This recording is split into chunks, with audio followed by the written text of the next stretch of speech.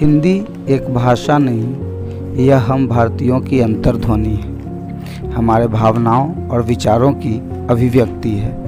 आप सभी को हिंदी दिवस की बहुत बहुत शुभकामनाएँ। सुप्रभात। आप सभी को मेरा नमस्कार। मैं आफिया कक्षा की छात्रा, आज आपके सम- सम- समक्ष एक कविता प्रस्तुत करने जा रही हूँ, जिसका शीर्षक है साहस। कविता प्रस्तुत करने से पहले मेरी तरफ़ से आप सभी को हिंदी दिवस की हार्दिक शुभकामनाएँ। जरा गौर कीजिएगा। मंजिल पाना है अगर तो चलने का साहस रखो।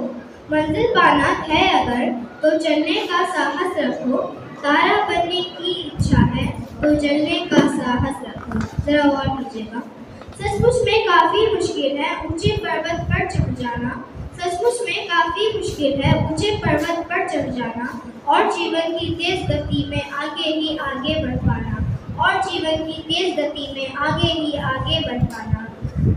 बहुत हार्दिक शुभकामनाएँ देता हूँ। आज मैं बाल कवि सम्मेलन में भाग लिया हूँ। आप सभी को हिंदी दिवस की बहुत बहुत शुभकामनाएँ। आज मैं हरिवंश राय बच्चन की लिखी हुई एक कविता प्रस्तुत करने जा रहा हूँ, जिसका शीर्षक है, कोशिश करने वालों की कभी हार नहीं होती है।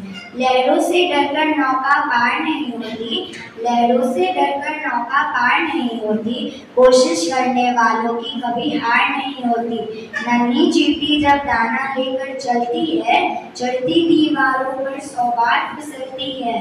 मन का विश्वास लोगों में साहस बढ़ता है, चढ़कर गिरना, गिरकर चढ़ना अखराता है। आखिर उसकी मेहनत बेकार नहीं होती। आखिर उसकी मेहनत बेकार नहीं होती। कोशिश करने वालों की कभी हार नहीं होती। छात्र आज बाल कवि सम्मेलन के शुभ अवसर पे आज कवि कवि प्रवेश कुमार द्वारा एक कविता प्रस्तुत करने जा रहा हूँ। उस कविता का शीर्षक है, सपनों में रख आस्था। सपनों में रख आस्था कर्म तू किए जा। त्याग से न डर, पर त्याग किया जा। गलती कर न घबरा। गलती कर न घबरा, गिर कर फिर हो जा खड़ा समस्याओं को रास्तों से निकाल दे। समस्याओं को रास्तों से निकाल दे। चट्टान भी हो तो टक्कर से उछाल दे।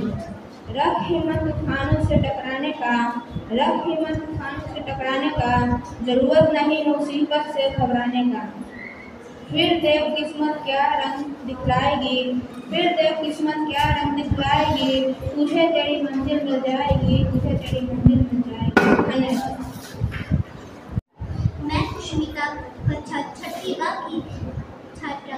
आप सभी को हिंदी दिवस की हार्दिक शुभकामनाएँ देती हूँ आ- आज आज सुभद्रा चौहान की कविता सुनाने वाली हूँ। उस कविता का शीर्षक है पानी और धूप अभी अभी थी धूप बरसने लगा कहाँ से अब पानी?